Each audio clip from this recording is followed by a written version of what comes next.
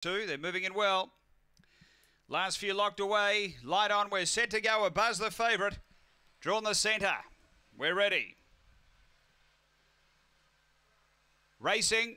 A buzz out on term, speed sketchy gun, driving through Dinah Maple, a buzz out wider. It takes a slender lead down the back. Getting to fourth is Blue Blaze, then came Rebel, being passed by Spring Irish, Winburn, Jerry and Bean Manelli. Off the back, a buzz gets away, out by four over Dinah Maple. A couple away came Blue Blaze, and they were followed next by Sketchy Gun. They're on the turn. A buzz goes very wide as normal, is clear over Dinah Maple, and they were followed then behind those by Blue Blaze, but it's a buzz clear, and the fave gets in. A buzz first, Dinah Maple second, uh, third Sketchy Gun. They were followed by, uh, we had got Blue Blazer, Winburn, Jerry close up, then Bean Manelli, and uh, back toward the tail end uh, would have been Revel. The time here is 30 and 45.